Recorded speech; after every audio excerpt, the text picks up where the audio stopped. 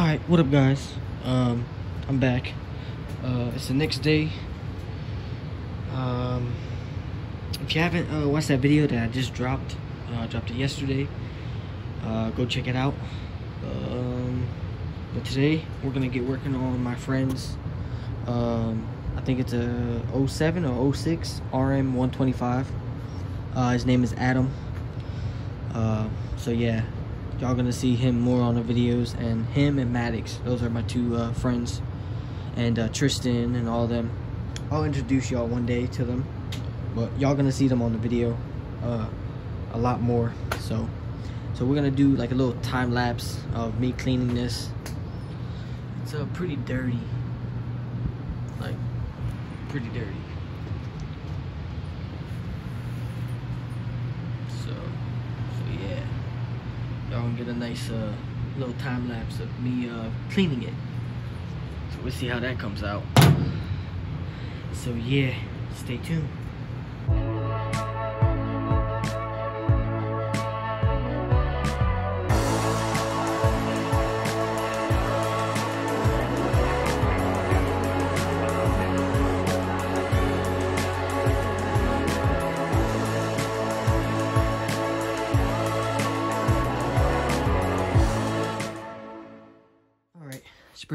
And scrubbed it. Uh, I couldn't get all into there. I could probably still get into here. Uh, I could do that with my finger. But I definitely uh, got it a lot cleaner than what it was. Now I gotta wipe it off. But yeah, next step, I did uh, this side and I did the other side. So next step is to wipe it all down. Uh, I can clean it a lot better than this but uh I don't think he wants to uh, take the uh, bike apart just yet. So uh, I'm not gonna take. I'm not. I'm not gonna go ahead and you know rip the bike apart because usually I'll I'll break the motor apart like this, and I'll get the motor to look like all like this, like basically uh, like new. So, but that's not the goal with this. The goal is just to clean it up, make it look a lot nicer and a lot cleaner than what it came in as. So, so yeah. Uh, time to dry everything off.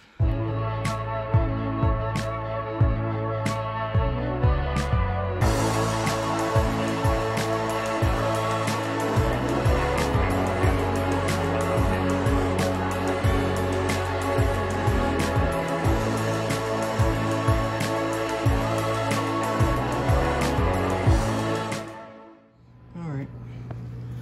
Went ahead and sprayed it and then wiped it off. A lot better than what it was. It's a lot cleaner. Uh, the pressure washer and everything could get through here, so I'm not gonna make it a big deal. It's definitely a lot cleaner than what it was when it came in here. A lot cleaner. So I could do a way I could do a way better job than this. Usually I take the whole motor apart, split the case. I even clean the transmission and everything. Like I even paint the side covers and everything. But like I said, this is this wasn't that type of project, at least not yet. But I know uh, Adam, my friend, will probably want the whole bike stripped straight to the bare frame, paint the frame, and uh, do a whole bunch of bling with the uh, with the motor and stuff, as I usually do. So still a little dirty, as you can see right there but it's definitely a lot cleaner than what it was. But yeah uh, I'm gonna go ahead and wipe the wheels down because uh, they're they're pretty dirty and they're actually nice rims. So I want them to also look nice. So I'm gonna go ahead and do that as well. So yep.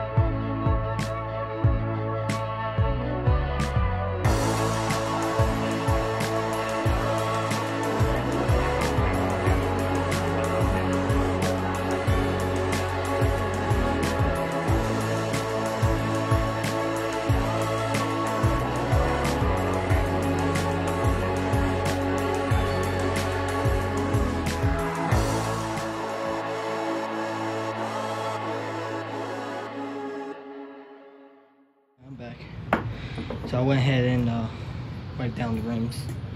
Now I'm going to use, um, where's that little uh, sponge thingy I used to use? Um, I think it's over here somewhere. No, it's not over here. I should use a little sponge.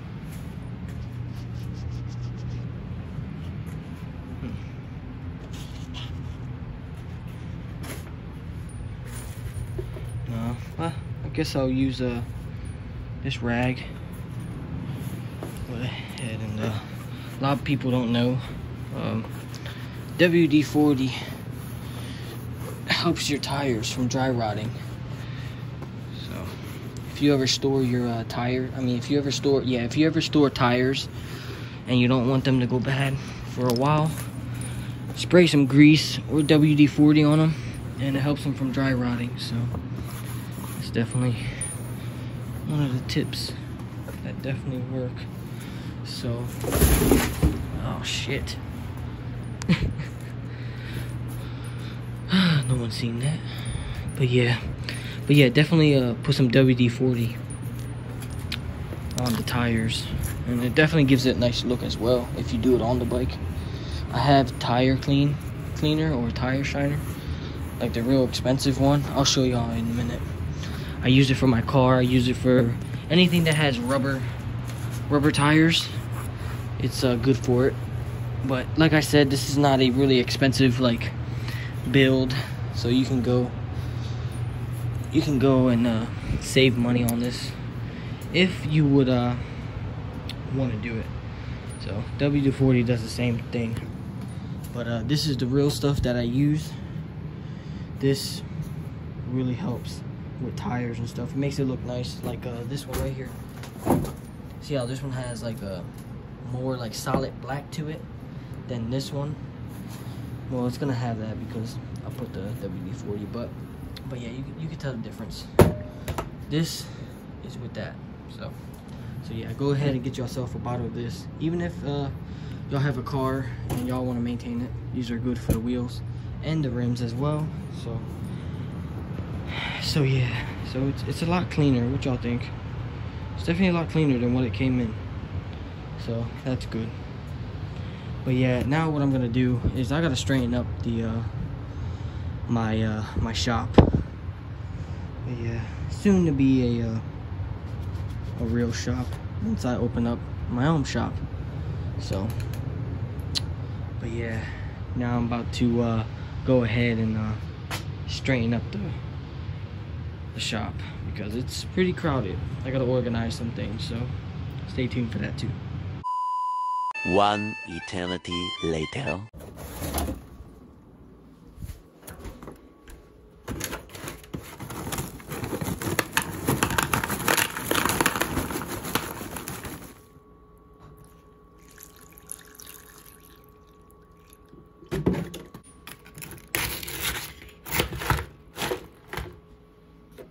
Alright guys, I'm back. Uh, it's actually a couple hours later. Uh, I went ahead and um, cleaned the garage. I mean, cleaned the little shop up, as you can tell. But yeah. I went ahead and uh, had some cereal, took a shower, do what I had to do. So, but yeah, it's nighttime now, but yeah, it's a lot, lot cleaner now. I can actually pull a bike in, work on it here pull it back, pull another bike, work on it here. But uh, today we're gonna be working on, I did this, I uh, cleaned this as best as I could without taking the bike completely apart. So, you know, the pressure washer is gonna clean all this. So I'm not really worrying about it. And plus it's not my bike, so I can't really do what I want to it. So today we're gonna work on this bike, uh, the 87 uh, YZ250, but it's bored out to a 290. So this is not going to be a daily. This is going to be like a hill climber. Uh, I'm to get a, nice little uh, paddle tire for the back. But yeah, we're to get ahead and working on this because this is actually to be done. I would say, give me like a couple weeks and this bike will be running.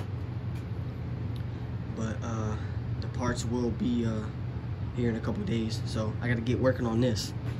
So I got everything uh, laid out for the bike.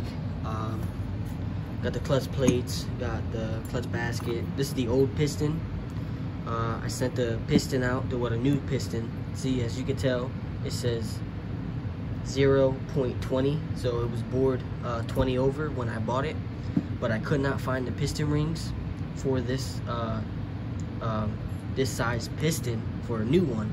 So I went ahead and bought a bigger piston, so now it's bored 40 over.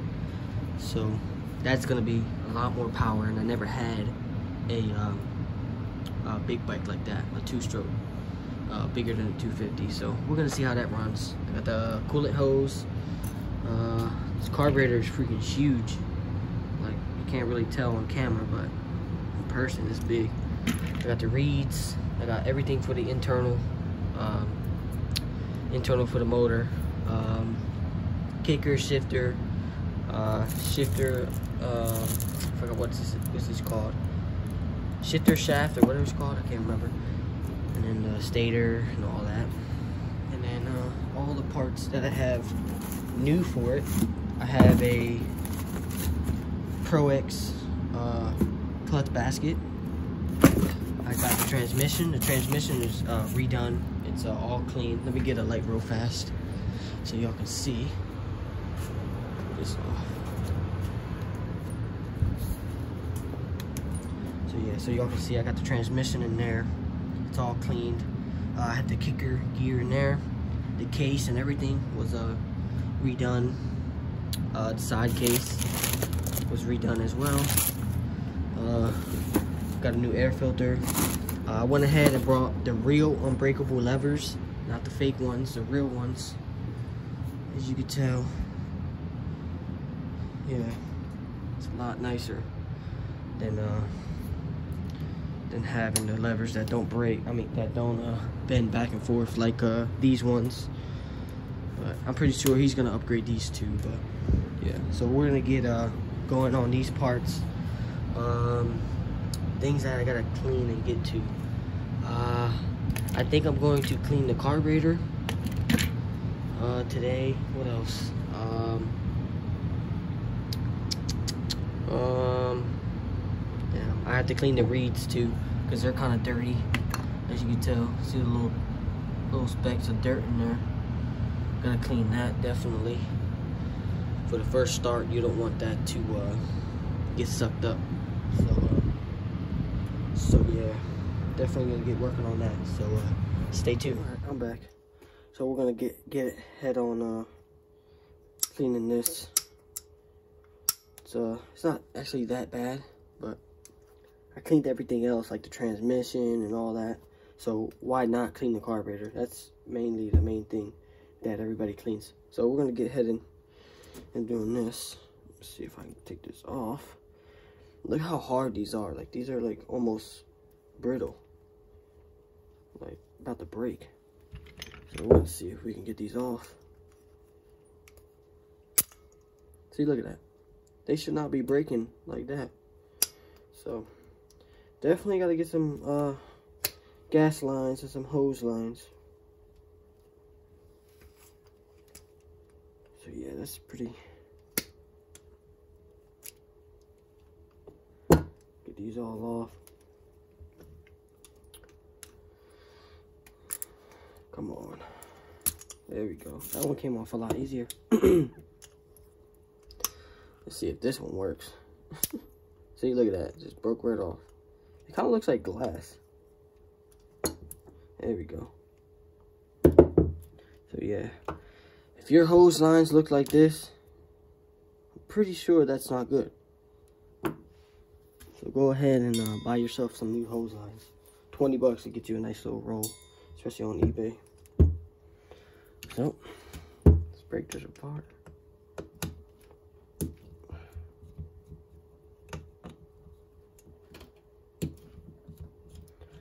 Surprised none of this shit's like stripping.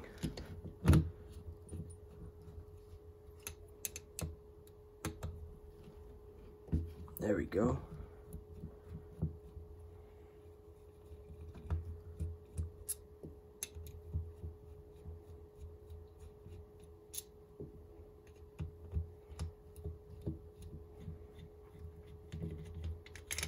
So yeah. Basically, I'm just gonna take it apart and show y'all how y'all take a carburetor apart. Well, how I do it. I don't literally take everything apart like this. I don't really do that. If it goes, if it stays like that, and it doesn't like, when you pull this up, if it doesn't like snap back down without you holding it, then yeah, you gotta take it apart and clean it. But I usually do like the needles and all that stuff. So, but yeah, the gasket, still good, not bad. Definitely some old gas in there. Look at that. It's a little. It's alright. So what you want to do is you want to take out these needles. So how I do it, grab a pair of pliers, twist it off. Oh shit. So once you got that off, just take it off. Uh, it's definitely clogged in there. Uh, you can't see through it at all. It's like oil. Don't look like dirt. It just looks like oil. So, that's good. Uh, and then the float, you want to grab this little pin right here and just pull it out. It should come out pretty easy. Nope. So what you want to do, grab something like this, then just poke it out if you can. If not, that don't work, the last thing you should do is pull it out like this.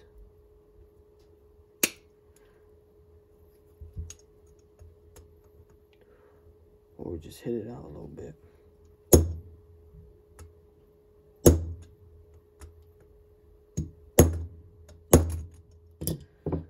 Doubt it's gonna break anything, so should be all right.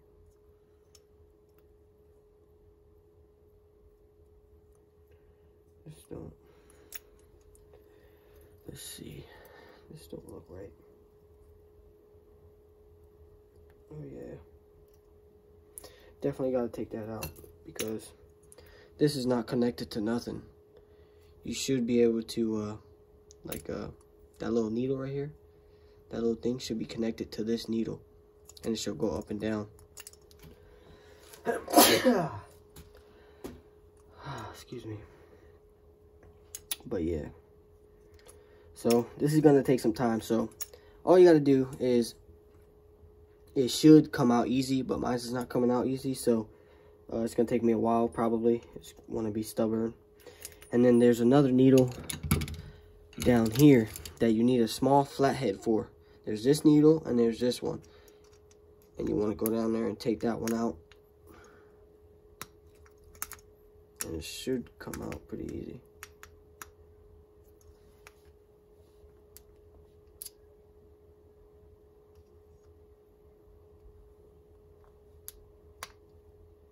Well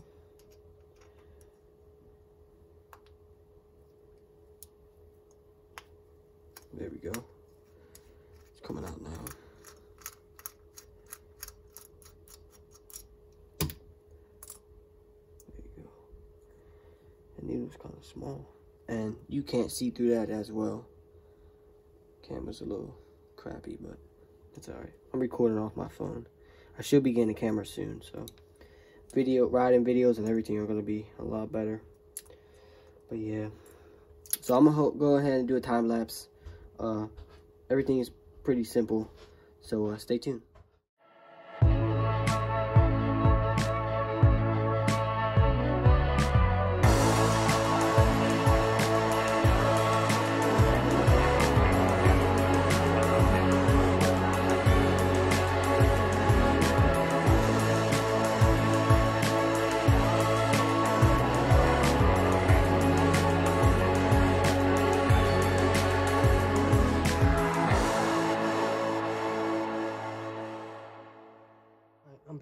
I went ahead and uh, cleaned the uh, carburetor, put it back together. Uh, Y'all already know how to uh, take it apart, and all you do is, you know, the opposite. So, if you don't know, just go rewind this video backwards, and it'll show you. And I went ahead and cleaned this off camera. Uh, it's simple. Uh, all you do is take out these screws on each side, and this whole thing comes apart. So, it's pretty simple. So now that that's clean, now I can put this in in here because now that I know it's clean, I don't have to go back and be like, oh, did I clean this? I already know because it's in this box. Um, these little things I'm going to clean as I put it back together. This I actually did wipe down and clean and cleaned off the uh, the rust that was on. on no, it wasn't that. It was this on here. I cleaned that as best as I could. So that's gonna work just fine. I'm pretty sure. Uh, the clutch basket.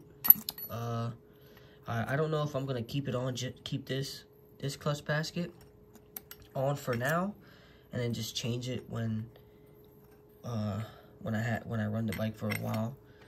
But I might change it because it has these little rivets, these little uh, indents, which is that's from wear. It's normal wear. Uh, but uh, I might just run it for now, and then in the future put that new clutch plate on. I mean clutch uh, basket on. Clutch clutch plates are actually pretty decent. They're not bad at all. So I'm gonna keep those. Pressure plate. Uh, uh, ran out of storage, so I had to delete some stuff. But like I said, uh, I'll clean these uh, once I'm like uh, building the bike and building the motor. But other than that, that's that'll be last. All I really had, all I really needed to clean was the reeds and the carburetor. Everything else is like as I go on. So, uh, so yeah, the bike is uh, pretty clean. It's, actually not that bad at all. Uh, the hubs would definitely clean out really good. I can literally scrape this off and see the color of the hubs. I think they're silver. Yep, silver. So the pressure washer could do that. Uh, I would do it by hand, but it's kind of hard. You would hit your fingers on this so many times. Trust me, I, have done it. Um, but yeah, it's definitely it's definitely a clean bike. Uh, man, it's, it's, gonna be nice once uh, once I'm done with it. It's definitely gonna be a hill climber for sure. Uh, yeah. See this, I think this is the CDI, CDI, so I'm not sure if this even goes to that bike. This right here. I, I don't even know if it goes to that bike. Don't look like it at all. But we shall find out once I put it together. So, so yeah uh, stay tuned for the next video. Uh, the next video uh, should be uh, tomorrow, obviously, because I, I, I, post every day. So um, this video is definitely posting a little late. It's uh, it's like let's say nine nine thirty right now.